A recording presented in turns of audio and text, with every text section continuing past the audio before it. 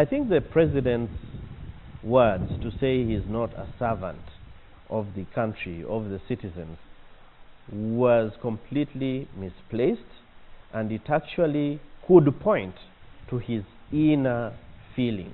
The president is right that nobody has hired him.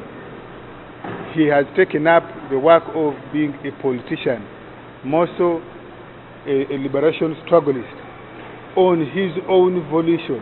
That's what the president was meaning. Is out of order. The president is constitutionally bound to work for the welfare of Ugandans and to ensure that Ugandans are safe. National leader, you are supposed to be galvanizing the people that you lead. You're supposed to be thinking about the people that you lead first before you even think about yourself. At the president saying, nobody hired me. Even if you were not paying me salary, I would still do this job for Uganda. Because first of all, it is my job as a citizen to fight for Uganda. So I don't have to be paid. So in that, in that respect, the president is right that he is not a servant. That kind of statement marks of extreme arrogance and a sense of entitlement.